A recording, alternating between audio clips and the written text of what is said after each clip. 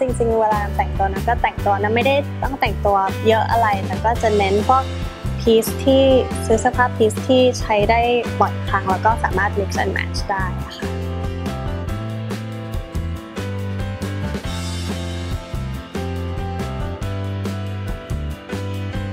ความที่ผ้าไหมเนี่ยมันเป็น texture ที่สวยอยู่แล้ว มันก็เป็นอีก material หนึ่งที่เราสามารถเอามาเล่น mix and match กับชุดเราได้นะคะมันก็จะทำให้ชุดเรามีความเก๋แล้วก็สวยขึ้นมา เพราะฉะนั้นคิดว่าจริง ๆ เดี๋ยวนี้ถ้าเราเอาผ้าไหมมาตัดชุด ซึ่งมีคนทำเยอะมากแล้วอะมันก็สวยมากด้วย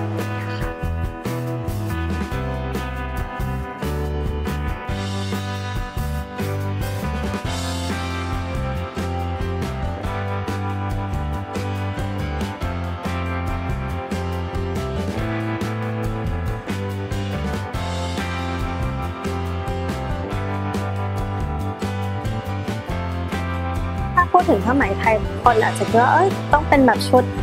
ชุด traditional ชุดสมัยก่อนแต่พอจิม ทอมป์สันเอามาทำก็เป็นลุคที่ใส่ได้เลยโดยเฉพาะชุดนี้ก็คือชอบมากเมื่อกี้ก็แอบถามว่าเอ๊ะผ้าผ้าทำมาจากอะไรอะไรค่ะก็คือเป็น silk นั่นแหละ แต่ก็มีเทคนิคที่ทำให้ wearable มากแล้วก็ใส่ได้ง่ายอะค่ะ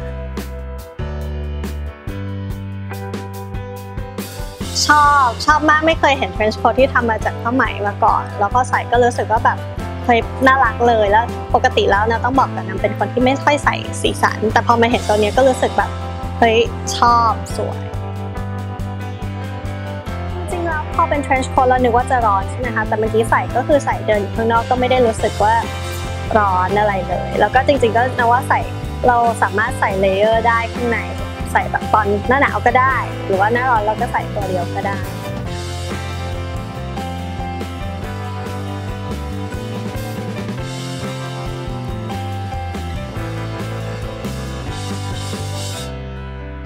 ค่ะ ฝากติดตามแฟชั่นเซตนี้นะคะ ของคิมทอมสันกับนามในนิตยสารฮัลโหลค่ะ